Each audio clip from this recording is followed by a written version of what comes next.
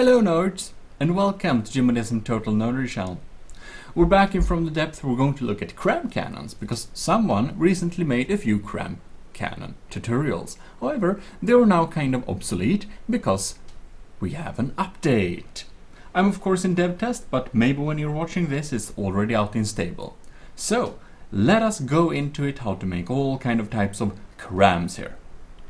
One thing you'll notice straight away is that all your old, old cram cannons are working perfectly fine. The only big difference is if they shoot kind of fast before, they will shoot slow now, and the uh, gauge of the guns are probably a little bit bigger. Like here we have my golem turret. It's now apparently 2000 millimeter, and we have a little bit longer reload time of one and a half minute. Let's see if it creates a little bigger boom now. yes, this tiny cannon uh, does create a bigger boom now. Of course, that's only pure explosive, so it would be even more efficient if it wasn't uh, only explosive. Anyways, uh, that's kind of our little thing here, and we should check out how to make the new cram cannons. Alright, so cram cannons were a little bit too good to be true they were very cheap and took very little ammo. So, uh, in terms of balance, they are now a little bit more expensive, but they also take a little bit more of ammo. But they are still comparatively cheap and uh, kind of nice in maintenance. And they of course are still our big boom cannons. However, the shell speed of them are now 200 meters per second as default for all cannons, so they are a lot quicker than they used to be. Anyways, let us check at the cram cannon menu. Here if you uh, find the firing piece, this is kind of what shoots. So we should uh, create a little setup for a cram cannon. And we will start with just making a fixed little cannon here. So, um, here we have six-way connectors. These you kind of need to uh, connect all the good stuff up to your cannon.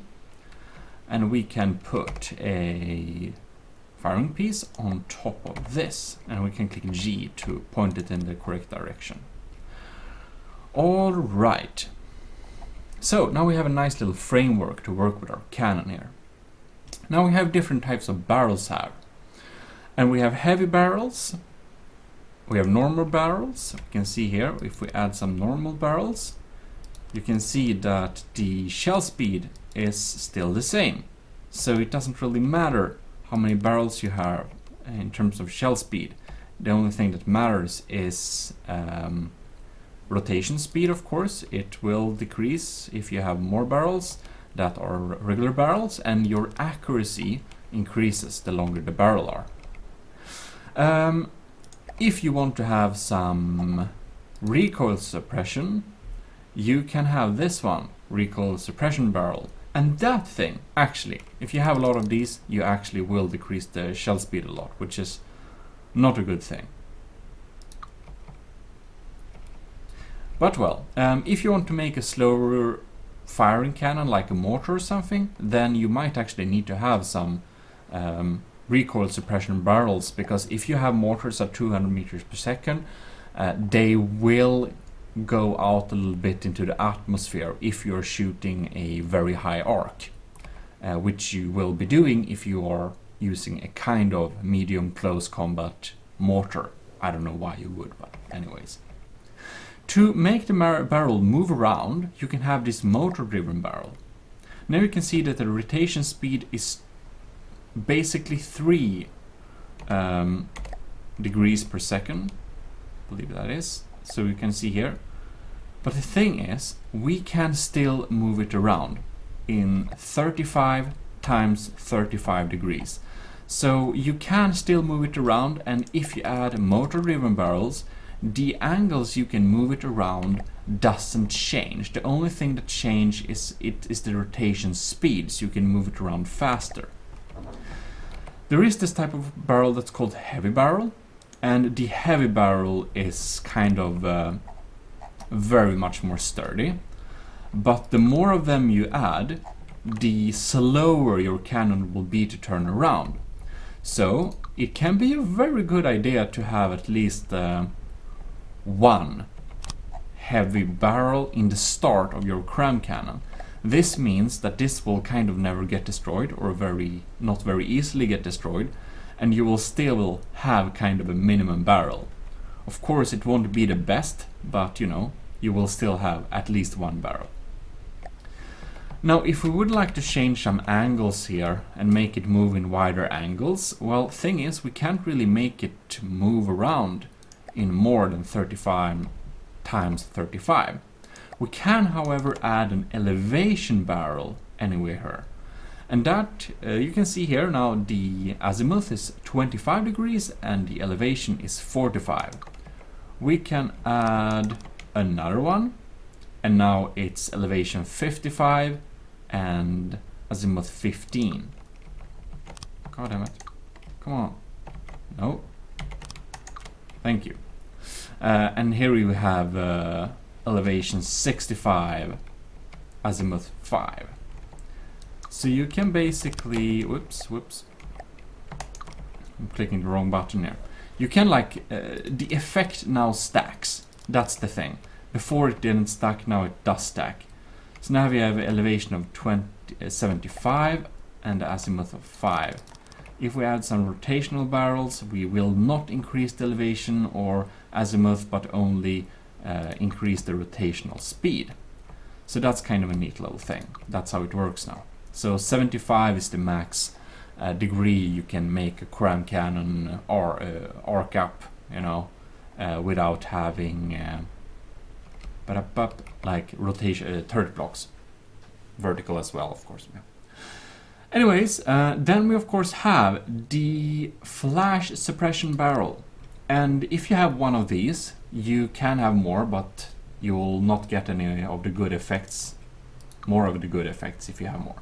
But if you have one of these, um, the sh uh, the shots you fire will be harder to detect. If enemies have kind of munition detection systems and LAMS to take out the cram shells, uh, I think it will be, I think it was 20%, it will be reduced to um, that amount, so it will be much harder for the enemy to shoot it down.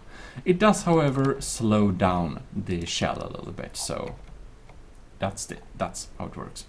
Anyways, we'll set up a kind of basic barrel like this, because we're going to look at the next part.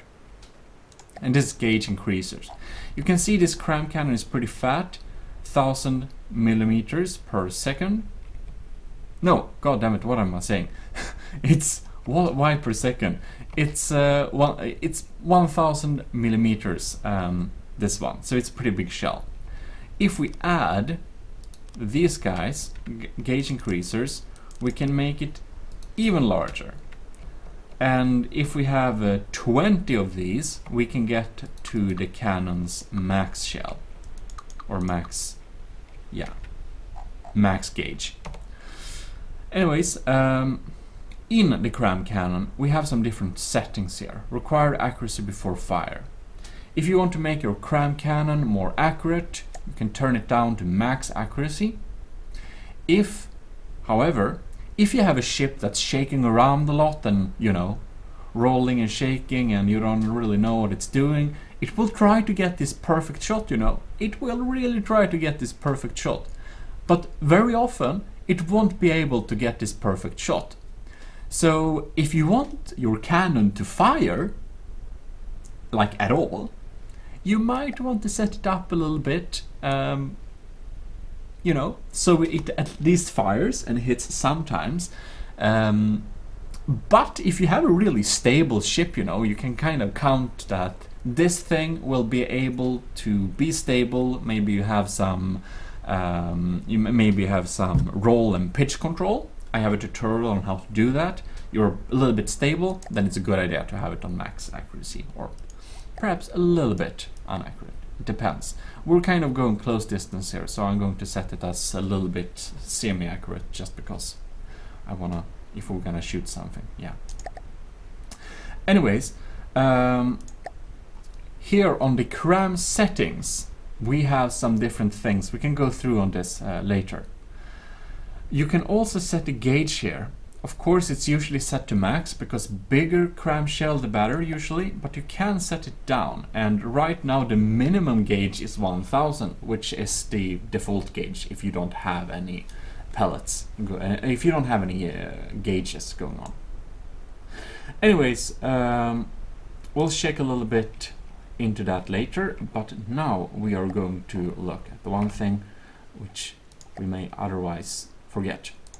To control your cram cannon, you need to have a local weapon controller uh, behind, like one block behind, or like one block between behind, you know, a little bit kind of close to the firing piece. We'll have it here so it doesn't interfere. You want to throw up a failsafe? Throw, throw, hmm. You wanna put a failsafe on your local weapon controller so it won't uh, fire itself. If you don't have this, it might fire on your vehicle, you know, it might disregard your vehicle and shoot at you as well. So um, let's put a little receiver here and now we're connected up to mainframe. We already have an AI on this thing. On the local weapon controller, of course, we can set up some limitations here. So maybe you know this cannon can't fire longer than 3000 meters. You can set it here. Uh, but that's, you know, some limitations, just so you know. Take a look at them. Right, so now let's go to the bulk of the cram cannon tutorial. Now we've gone through some of the basics here, and now we're going to go to the packers and payload compactors and pellets and good stuff like that. So, okay, think of a cram cannon as a bucket launcher. Think, af think about the cram shell as a bucket. And the bigger the shell is, the higher the gauge is, the wider the bucket is. The bucket, they contain pellets. And pellets, there are different types. There are explosive pellets that kind of makes a big boom. There are frag pellets that fires away a lot of big fragment, uh, small fragmentation things and like uh, 120 degrees of angle. We have EMP pellets that kind of charge your enemy ships with a little EMP surge to fry some AI stuff. And you have hardener pellets that help you with penetration. Right, so uh, technically you can kind of put this... Um, I believe you still can. No. Um, you can't put pellets on uh, the um, directly on uh, connectors anymore. You could before, you can't anymore it seems. So now we actually need to have the packers. The packers weren't necessary before, but they were essentially necessary because your yeah, your cram cannon would be so much kind of shit if you didn't have them. So it's it's as for the better that you kind of have to have them. Now, the packers are the only thing that will put your pellets and put it into the bucket that is your cram uh, shell. Uh, so the more packers you have, the faster you will able you will be able to fill the bucket. Before the bucket is filled, your cram shell, the bucket, won't fly away. So the more packers you have, the faster firing rate you will have. There is this uh, automatic orientation packer. Um, it's kind of a little bit useless, so I suggest just going with a manual orientation packer and just learn it. It's a little bit hard to get its angle, but you get a hang of it. So basically, think of this. The more packers you have, the faster you will be able to uh, fill the bucket, which is the cram shell. And uh, of course, the nice thing with the uh, packers is that they can share pellet containers. So you can see here, now we set it up so these two kind of share the same pellet. And this is real nice because the the packers payload like all the components are kind of cheap. You don't need to worry about the cost very much, except the pellets. 150, oh my god, we're ruined. Frag pellets, 150 EMP pellets. And you have you got this like mini discount on hardener pellets. Very nice. But uh, basically, that's that's how it goes, you know. So uh, that's why we want to connect them to as many packers as possible. Each pellet should be connected to four packers if possible. Now on this little tutorial thing here, we'll basically just uh, do it a little bit easier for us, but yeah. So now you can see the reload time is 15 seconds. If we add more of these, like that, and like that, our cram firing piece, it now fires uh, 10 seconds reload time. Fantastic. So now we can fire a little thing here. Beautiful. 10 seconds reload time. How fantastic. Anyways, um, let us check the reload time. Here we're just gonna remove those on the sides there.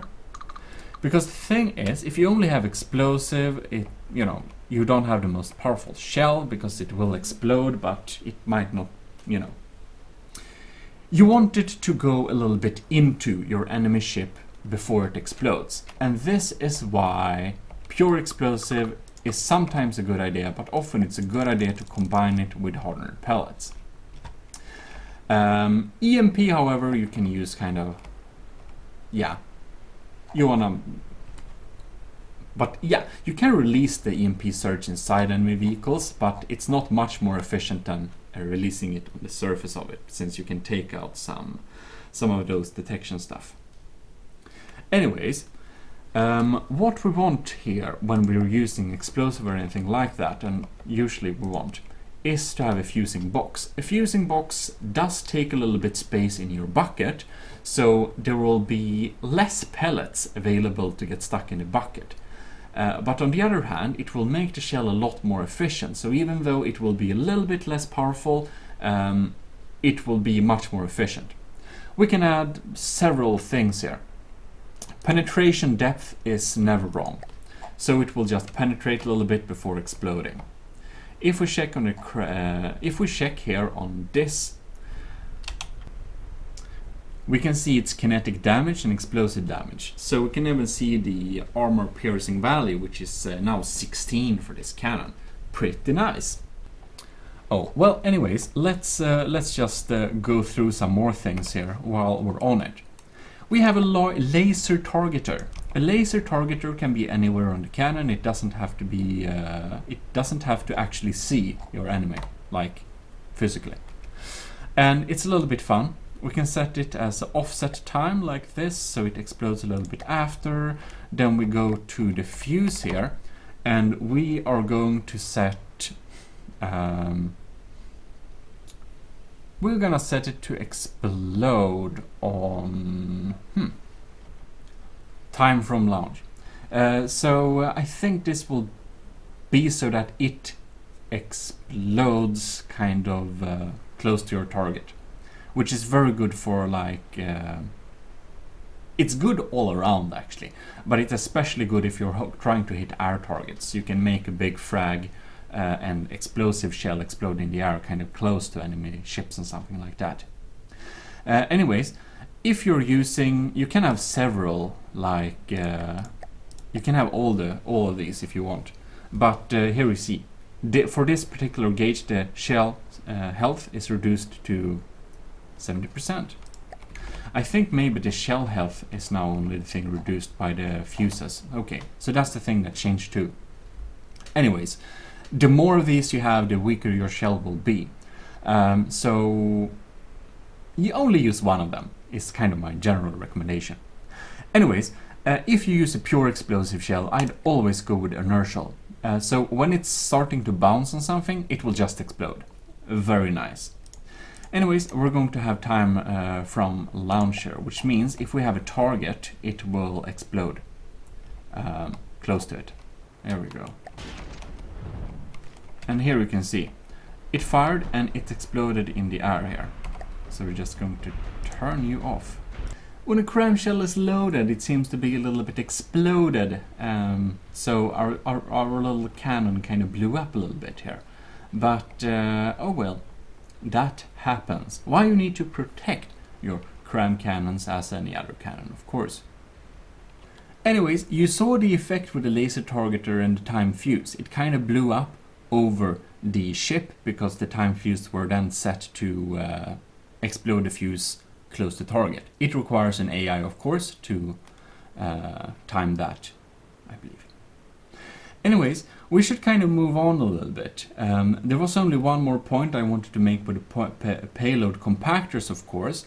And uh, let's just uh, get this down here a little bit. If we have a little cram cannon here, say with some connectors and some autoloaders like this. Right. So the bucket width is uh, is decided of uh, kind of how how big the shell is, uh, which means how many gauge increasers we have. If we have like 20 of them, we'll get up to max gauge, which is pretty beautiful. But if we want the bucket to be deeper, deeper, deeper, then we take these payload compactors and add them to, of course, these, the packers. If the compactors are also added to the packers, the size of the bucket, like the uh, like the volume of the bucket increases. And since and since the gauge increased the width, I imagine to think it uh, increases the length of the bucket, which is the cram shell, if you've forgotten that. And this is kind of cool, because now you can see that we have 150 of 500 packet. So the reload time is 171 seconds. Pretty insane. Okay, so if we remove this, the reload time is now 149. God, that's not much better. But you can see that uh, the max packing rate, uh, the max packing size is like 400 and uh, yes, 400 something. And now, whoops, why did I add these? And now when we add these, we can go up to over 500. So that's kind of the little thing here. If you add these, the bucket will be deeper, but it will also take longer time to fill it up. So it might be super powerful and super slow shooting, but you might want the dam cannon to at least fire a bucket even though the bucket is not filled. You want it to shug out some shells anyways, since it might be good that it has the potential to have real powerful, real powerful shells. But you also want it to actually fire. And to fix this, you go into the firing piece, you go to the cram settings, and here we have minimum packing 100%, cannon on fire until it reached this percentage of the maximum capacity. We set this down to like something stupidly low, minimum 5%. Now, the cram cannon will also fire at least, if it's at least 5% of the pellets that you can fit in this little bucket, it will chug it away. Automatic pack refit, you can kind of balance out some kind of balance things here between the different types of pellets if you have several. This should be set up automatic however, so I wouldn't touch this too much. It's probably as best as it is. You can't change, you can't make it better really. Anyways, uh, we're kind of almost reloaded now, but we're 400 of like 500. So uh, it will fire anyways. And of course this shell is pretty powerful. Explosive damage, 7000 almost. But uh, we have made this a fast firing gun of course. Uh, we're still packing, but we're soon, soon we're gonna reach 5%. And of course this explosive damage is only 10. It's like 610, so it's like not even 10% of the earlier shell. So that's kind of cool. Um, so basically, payload compactors, if you're gonna use them, you probably wanna set it so it won't fire at 100%, uh, but a little bit earlier. But it's a really good thing to add for like super slow cram cannons, which are kind of not firing very often. And an example of a cram cannon that's not firing very often, but it's a good idea to have these payload compactors. That is, of course, a cram bomber. So if you remove your barrel and you instead just uh, go in and put a bomb chute there. Now this thing, you can't add any more barrels on this, like this is, this is it. It's a small little thing that kind of releases a shell to be dropped from above. And well, this is basically how to make a cram bomb. Um, you know, we're closing in on target. Oh no, it's stupid, it's turning away. Oh, we're going down to the target. Oh no, we're going away. Are you finally going to attack or are you just going to circle this thing? If we pause the game, you can see four bomb chutes under the plane here. So that's kind of nice. But uh, from what I what I know, maybe um, something just broke. Who knows? Okay, now it looks like we're going in for a proper bomb run. There we go. Four of these shells coming down there and... Uh, well, they're doing a lot of damage. Beautiful. So that's a bomb chute. Anyways, let us make a combo cram cannon turret, just because why not? So, we're going to go and go to new objects, wherever you are. Sub objects move, there we are. And we're going to select this 5x5 huge turret thing. So we're gonna make a real big turret here just for tutorial purposes. And uh, everyone doesn't like to do this, but I like to have my weapon controller ready on the turret. Kind of like this. Uh, you can have it like one block under the turret. Of course we have other stuff here, but you can have it like on the other side. So basically here. Uh, that works too, but I like to have them on the turret because it's easier to spawn them on ships. Right, so this thing is now connected. We should get back our HUD. Anyways, um, now we go to our cram cannons and we're going to set up a little kind of interesting thing. The funny thing, which I think I forgot to tell you before, is that firing pieces, like for each barrel you want, you need a separate firing piece. And that separate firing piece needs its personal automatic, um, no, personal packers.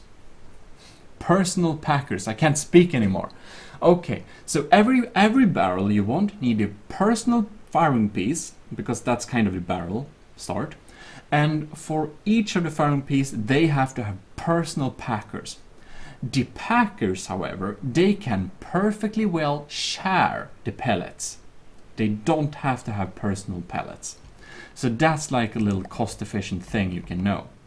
Now we're going to make a real stupid turret here, which is a, combi a combined cram turret with a normal turret. And this is just because I want to show up. I want to show you how to build a cram cannon, like cram, a cram cannon nowadays, and a normal turret in the same video because I'm lazy. Um, um, yes, basically that. And maybe you'll enjoy enjoy this kind of compact video as well. So here we can see we can have a pellet here, we can have a pellet there, which means we can, look, look, look how beautiful. They, they can share pellets there, they can share pellets there. That's amazing. Alright, so let's fill that up there. And we're not going to make the best turret, but we're going to make a turret that's proper in all its tutorial intents and purposes. Okay. And we're going to, okay, right. So now they can share some pellets there. Beautiful. They're going to share explosive pellets. They're kind of expensive and stuff. Like that. and this turret is going to have some. It's gonna be penetration. Well, it also it's also gonna have penetration, but of course this this cannon won't get the penetration. This cannon, oh frag I meant. We actually we accidentally put frag on the other one. Whatever. Then this other one will be penetration. Beautiful. So we have a high explosive penetration and we have a high explosive frag shell. Beautiful. They need their own kind of personal uh, firing fusing boxes, I mean. So here we have a fusing box on this one and we have a fusing box on this one. Uh, this one is going to be uh, why Okay, we need to put the firing pieces before we can play around with these.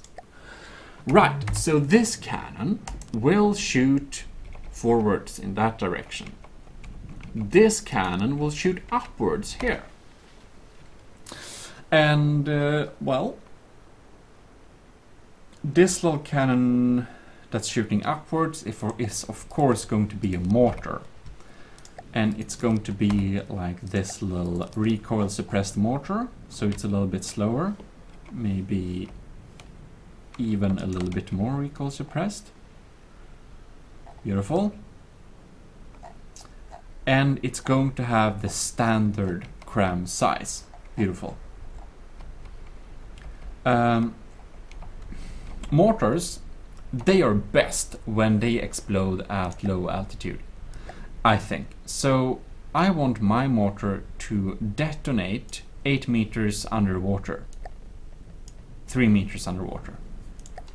That means they will blow up beside, on or under ships, which is exactly what we want. Um, this one, however, which is kind of a normal cannon, um, this one should instead blow up when it's uh, time from launch. So 120 seconds. Uh, but of course we want a laser targeter, so it will kind of detonate close to it. And it will detonate a little bit after, like that. Right. So, now what we want to have, like this is our kind of main cannon. We want it to be a little bit fatter like this, so we're gonna make the bucket wider as you know with that one. Uh, we're gonna have some heavy barrels just to make it a little bit sturdy, but we want it to move around too, so we're gonna add some of these, or we want it to move around faster rather. It has the same angles it can move, it's just faster. And since we have already covered the azimuth movements, we only want up and down, we are going to add a couple of... Uh, no, that's the wrong barrel. Elevation barrels. We're going to add a couple of elevation barrels. So now we'll have kind of the max elevation here. And to increase the accuracy, we're going to throw throw on a few more regular barrels. Beautiful. That's a big cannon. Right. Um, and the next step will be Yes, this this little mortar cannon here, just so we can show that, we're gonna be lazy. Um, this mortar cannon will have the potential to fire some heavier shells as well, if it can get its shot. So we're gonna add these, uh, god damn it, the automatic, as I said, don't even try the automatic, just, just learn the manual ones and they are a little bit, like I know, they're a little bit weird to get a hang of. Thank you. Well, um, we want some payload compactors here, so we have the potential to shoot real powerful shells. And uh, yeah, let's uh, let's add some more explosives here, so it won't be too slow. And since it wants to have the potential to be real powerful shells, what we want it to shoot as long as it can. Uh, so we're going to go into cram settings here and we're gonna set minimum packing to like 25% so it won't be like insane, you know? Um, and of course this is not like the max gauge and you know, anyways. This gun, this one is gonna be real accurate. Um, crams, when they are firing in high arcs, they will be kind of homing a little bit towards the target, which is pretty nice. Um, but to make it sure it fires high, we need to go into this setting here and we're going to select prefer high or only high. And there we go. This one, however, we're going to set as only low, as it is already. And, oh lord, I forgot this thing. This one, of course, um, it can move around in all directions. But it is a good idea, since we already have a azimuth covered, it's a good idea to have like at least one uh, elevation barrel so it can move a little bit like this more than it can like this, which is nice. All right. We're going to this one and we're going to set it to be uh, we're going to set it to be a little less accurate because I don't know why because you know I want to show the different settings. Beautiful. Uh, we have a lot of ammo boxes on this build here and of course you need ammo to supply this thing. And if we go here we can set uh, that it won't attack targets that's higher than I don't know 500 meters up in the air because it probably won't be able to hit very well uh, so you can play around with that limitations. And then we are going to... There was one thing more I thought about. Let's see here. Stats. Da, da, da. And here we can see the stats, by the way. Beautiful. Material cost, total volume, power, firepower, all like that. So you can kind of count how much uh, ammo it will use. All right. Uh, and this one has very poor, very poor armor penetration capabilities. This one has 28. Beautiful. Okay, so yeah. And the nice nice thing with this is that when we have on low altitude, it will explode beneath the target if it misses. But if it hits, it will detonate when we penetrated it a little bit. So we're going to set that up actually, penetration depth also. So it either of these, beautiful. And we can set that a little lower just because we don't want it to activate first. How nice. You can also write in the values manually. Alright, I think we are very ready to test our little turret here. And if your turret has some kind of problems with it getting stuck, you go to your turret block here. We can set the marker display here and we're going to set uh, we are going to set movement movement uh, no come on. We're going to try and set up this. No. God damn it. Oh this beautiful flip button.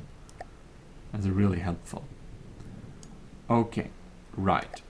We are helping this not getting stuck in the AI tower. Isn't that beautiful? So now we set it up and that's something you should do on the turret axis, not the cram firing piece. You can set it up in the cram firing piece, but that's kind of useless. Right, so there we are. God damn it. We're now going to be real quick with our controls here, because this will be a little bit interesting. Let's spawn a marauder. And, oh god, Marauder, die. Thank you. Right. So now, our cram cannon should indeed start firing on the Marauder. Do we have a hit? No, we do not. But we can see we are trying to aim. Now, I don't really know why here, but it seems that one of, like, this local weapon controller can only uh, control one of these um, cram cannons right now. So we're just gonna add a second one here so it can uh, also fire.